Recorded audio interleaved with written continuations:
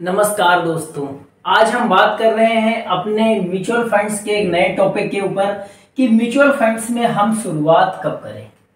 एक जनरल सा क्वेश्चन है। कमेंट भी आते हैं कि हम अगर अपनी जर्नी शुरू करने जा रहे हैं म्यूचुअल फंड्स के अंदर इन्वेस्टमेंट में तो हम कैसे निवेश करें, कब करें, क्या तरीके हैं जिससे हम निवेश कर सकते हैं। इसमें बहुत सारे सवाल जवाब आते रहते हैं। तो देखो म्यूचुअल फंड्स में शुरुआत कब करें? कब का मतलब दो तरीके से हो सकता है। या तो आप पूछना चाहते हो कि शेयर मार्केट ऊपर है या नीचे है। तो ऊपर में निवेश करें या नीचे में करें, ये तो एक जनरल सा क्वेश्चन हो गया। कि मार्केट नीचे है, ये तो सबको सब किसी को पता होता है कि नीचे है, तब हम निवेश करें। तब रिटर्न जल्दी बनता है, बिल्कुल सही है। लेकिन ना हमने देख के आया है, ना आपने देख के आया है कि मार्केट ऊपर से भी ऊपर जा सकता है नीचे से भी और नीचे गिर सकता है। हमें ये चीज़ तो पता नहीं रहती है कि मार्केट और कितना गिरेगा। मान लो कि अभी निफ्टी तेईस हज़ार रुपए है। अब क्या होता है? धीरे धीरे मान लो कि वो निफ्टी बीस हज़ार आ जाती है। मान लो एक प्रकार से बीस हज़ार आ गई। अब बीस हज़ार में हमें कैसे पता कि ये बीस हज़ार पे रुकेगी? मान लो कि अठारह हज़ार आ गई तब। तो ये चीज़ नहीं कह सकते आप कि आप कब करें, कब शुरुआत करें। देखो, सबसे सिक्योर है म्यूचुअल फंड्स शेयर मार्केट नहीं है, मैं फिर बता रहा हूँ। शेयर मार्केट में एक चीज़ हमेशा याद रखना, अगर आपको नॉलेज नहीं है तो शेयर मार्केट में मत घुसना। क्योंकि अगर आप फंस गए किसी शेयर में तो वैल्यू भी ज़ीरो हो सकती है। ठीक है? उदाहरण के तौर पे कभी सुजलॉन का शेयर भी 300-400 का हुआ करता था, आज पाँच छह रुपए से जाके, अब जाके कहीं चालीस पैंतालीस रुपए का हो पाया है। जेपी पावर का भी शेयर कभी महँगा हुआ करता था, आज पाँच छह रुपए से जाके सोलह सत्रह हो पाया है। ऐसे बहुत सारे उदाहरण है, फंस जाओगे तो बीस बीस साल फंसा रहेगा पैसा। बिना नॉलेज बिना कुछ जानकारी के आप निवेश करोगे तो फंसोगे, ये चीज़ आप याद रखना। देखो, ना हम देख के आए, ना आप देख के आए हो कि क्या हो रहा है, क्योंकि हम लोग अपने काम में बिज़ी होते हैं। मान लो आप नौकरी करते हो, आप नौकरी में बिज़ी हो। आप आए थोड़ी देर के लिए खाना वाना खाए, अब कह दो कि हम एक शेयर खरीद लें। उस कंडीशन में आदमी फंस जाता है। देखो, आपको लगता है कि मान लो कि एक शेयर है कैंपस का शेयर है बहुत अच्छा शेयर है कैंपस का। किस लिए अच्छा है? जूता सब कोई पहनता है, जूता हमेशा सब कोई पहनेगा। बिज़नेस उसका बढ़ना ही बढ़ना है। कैंपस का जूता एक ऐसा जूता है, जो गरीब भी पहनता है मिडिल क्लास भी पहनता है, अमीर भी पहनता है, उसमें बेजती नहीं है। एक ऐसा कॉमन शूज़ है वो, इतना कॉमन जूता है वो, कि अमीर भी पहनेगा, इज़्ज़त बनी रहेगी, गरीब भी पहनेगा, इज़्ज़त बनती है। मिडिल क्लास भी पहनता है। ये हकीकत है कैंपस की। और बाकी नाइकी वगैरह मिडिल क्लास गरीब परिवार नहीं पहन पाता है। चार हज़ार से शुरुआत है, तीन हज़ार से। आदमी को चाहिए पाँच सौ, छह सौ का, वो कैंपस देता है। कम रुपए में अच्छी क्वालिटी देना। क्योंकि कैंपस हम लोग काफ़ी दिनों से पहन रहे हैं। तो कैंपस का एक शेयर था, जो अभी एक डेढ़ साल पहले मार्केट में आया। बूम हो गया एकदम।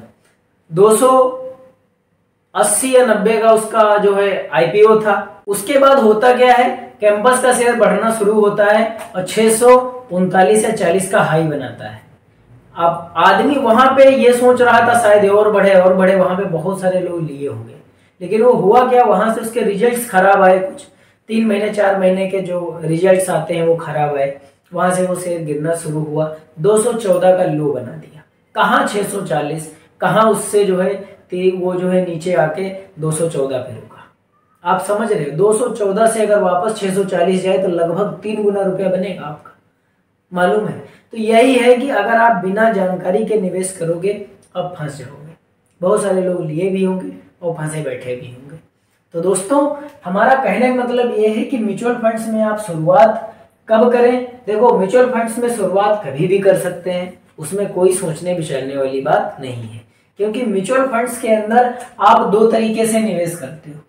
एक एसआईपी के ज़रिए निवेश करते हो, एक लमसम के ज़रिए निवेश करते हो। ठीक है दोस्तों? आप जब एसआईपी और लमसम में जाके निवेश करते हो तो एसआईपी में आपने क्या किया? मान लो पाँच हज़ार की आपने एसआईपी की लमसम में आपने जो है क्या किया? एक लाख, एक साथ पाँच लाख रुपए डाल दिए। ठीक है? पाँच लाख रुपए आपने लमसम में एक बार में डाल दिए। लमसम का मतलब ये होता है कि एक बार में निवेश करना, ठीक है? एसआईपी में क्या है? हर महीने ये हो गया आपका पर मंथ, ठीक है?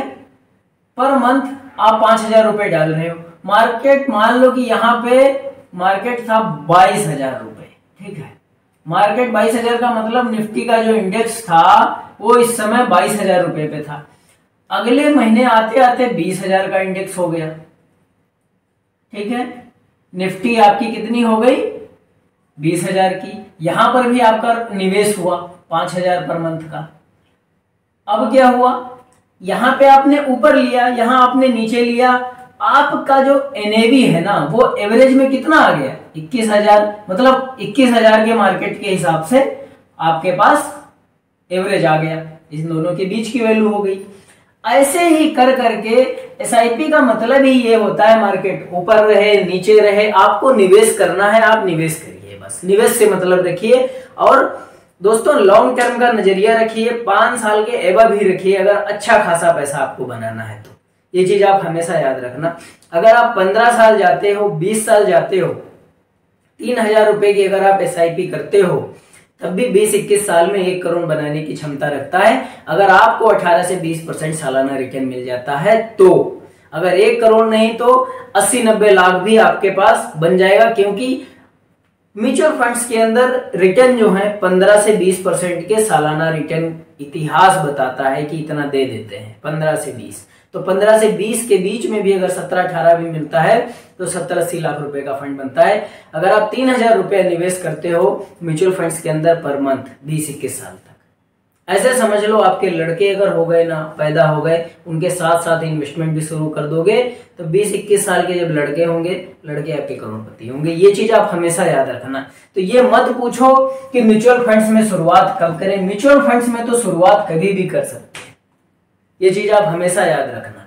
इसमें आप मार्केट ऊपर हो, नीचे हो, बस लॉन्ग टर्म का नज़रिया रखना और निवेश करो।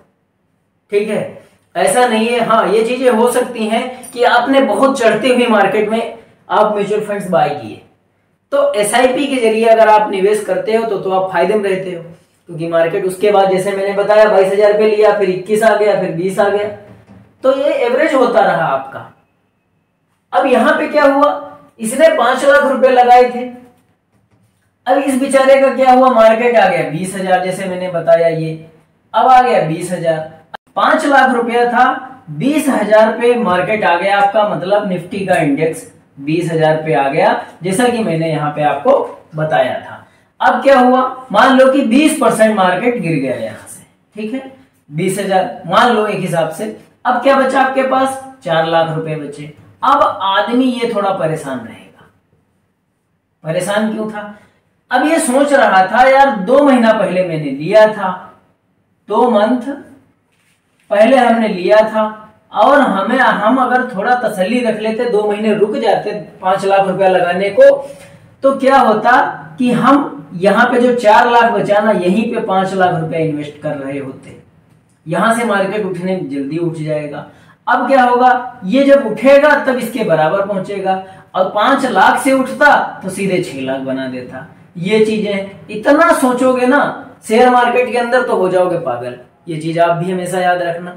क्योंकि अगर आप देखोगे ना, आज आपका पोर्टफोलियो ग्रीन दिखेगा, कल रेड दिखेगा, परसों फिर ग्रीन दिखेगा, ऐसा चलता रहता है। अगर आप इतना माइंड करोगे कि जो है, ऐसा कैसे हो गया यार, पाँच हज़ार आज मिल रहे थे, और अब नहीं मिल रहे हैं। हमारे भी कुछ दोस्त हैं, इन्फोसिस का शेयर लिए। चौदह सौ पे खरीदा उसको। भाव चला गया सत्रह सौ। बेचा नहीं। वापस से वो चौदह सौ आ गया। अब क्या हुआ? उनके प्रॉफिट में थे सत्रह अठारह हज़ार रुपए। आज वापस से वो माइनस में है। खरीद थी चौदह सौ साठ की। भाव चल रहा है चौदह सौ चौदह रुपए। कहा सत्रह सौ था? तब बेचा नहीं। वो सोच रहे थे, बढ़ेगा। ये चीज़ें हो जाती हैं। अब कह दो, इतना आप उस पर गौर करो। कि यार ये तो गलत हो गया। अब गलत क्या? भगवान तो थे नहीं। सत्रह सौ से दो हज़ार चला जाता, तब भी आप कुछ नहीं कर सकते थे। अब वो क्या हुआ? सत्रह सौ से वो धीरे धीरे गिरने लगा। वो यही सोचते रहे कि किसी दिन बढ़ेगा बढ़ेगा बढ़ेगा धीरे धीरे उसके रिजल्ट्स भी खराब आए वो नीचे आ गया। हालाँकि शेयर बहुत अच्छा है इन्फोसिस का। आज नहीं तो कल वो रिटर्न आपको देगा ही देगा। ये चीज़ आप हमेशा याद रखना। ठीक है दोस्तों? तो म्यूचुअल फंड्स में शुरुआत आप कभी करो। जब मर्ज़ी आए तब करो। लेकिन शेयर मार्केट में अगर आप करते हो तो सतर्क हो जाओ जब तक आपको नॉलेज नहीं है। आप म्यूचुअल फंड्स के अंदर आओ, बहुत सारी चीज़ें सीखो कि शेयर कैसे खरीदते हैं, कौन शेयर कौन से अपने रिजल्ट्स पे डिपेंड होते हैं, किसी भी नेगेटिव न्यूज़ पे डिपेंड होते हैं। कब किसकी खराब न्यूज़ आ जाए, कब आरबीआई या सेबी किसी को क्या बोल दे। अभी पेटीएम के बारे में आरबीआई ने जो बोल दिया, उसका शेयर भर भरा के गिर गया। सोलह सत्रह सौ का शेयर बताओ, तीन सौ पे आ गया पेटीएम का। तो ये चीज़ें होती हैं, हमेशा ये चीज़ याद रखना, हम लोग क्या करते हैं? हमेशा गिरते शेर में ही नहीं लगाना है। रीजन जानो कि शेर गिर क्यों रहा है। आप क्या करते हो? शेर नीचे आ गया आप सोचते हो ना कि कैंपस का शेयर 600 का था अभी यार तो 214 आया है, ले लेते हैं। भाई वो ये तो जानो कि 600 के बाद 214 आया क्यों है? ये चीज़ पता है आपको? कैंपस का शेयर 600 का था 200 पे आ गया क्यों आया भाई? कुछ तो रीजन रहे होंगे ना, क्यों आया? बहुत सारे लोग फंसे होंगे। किसी ने 300 पे देखा होगा, बोला, अरे यार, आधे पे आ गया है। यहाँ से तो डबल हो जाएगा, वापस 600 जाएगा। तो 300 पे बाई किए बैठे होंगे, आ गया है 214 अभी थोड़ा बहुत बड़ा है तो 240 के आसपास है।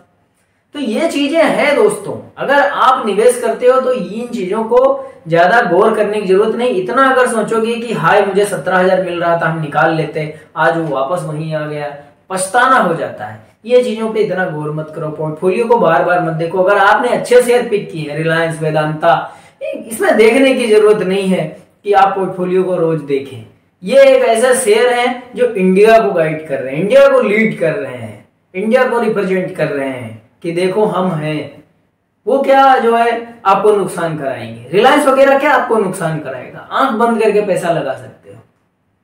लेकिन ऐसा भी नहीं है कि आप एक साल कोई काम है, एक साल के लिए आप निवेश कर दो, शेयर नीचे आ गया। ऐसा नहीं कि रिलायंस का रिटर्न हमेशा रिलायंस का शेयर देगा ही देगा। पिछले तीन साल से वो 2000 से 3000 के बीच में ही दौड़ रहा है। बाकी बहुत सारे शेयर मान लो कि IRFC Indian railway finance corporation बीस रुपए का शेयर आज 200 छू गया। उसके बाद वापस से डेढ़ सौ पे आ गया। ये सभी चीज़ें चलती रहेंगी। आप हमेशा याद रखना म्यूचुअल फंड्स में शुरुआत कभी भी कर सकते हैं। बिना झिझक, बस लॉन्ग टर्म का नज़रिया रहना चाहिए। शेयर मार्केट में बिना जानकारी निवेश मत करना, वरना फंस जाओगे। रुपया एक नहीं, बीस साल तक फंसा रह जाएगा। जैसे किसमें फंसा रह गया, उदाहरण के तौर पे भी मैं बता रहा हूँ। फ्यूचर रिटेल जो बिग बाज़ार, इतनी अच्छी कंपनी होने के बावजूद, बताओ, सबको पता था कि क्या ये बंद हो जाएगी। दिवालिया प्रक्रिया से गुजर रही है, भाव एक रुपए के नीचे, जिसको हम लोग फ्यूचर रिटेल के नाम से जानते हैं। तो दोस्तों आई होप ये वीडियो आपको बहुत अच्छा लगा होगा। और दोस्तों, ऐसे ही फाइनेंस और इन्वेस्टिंग के वीडियो देखने के लिए हमारे चैनल को सब्सक्राइब ज़रूर करें।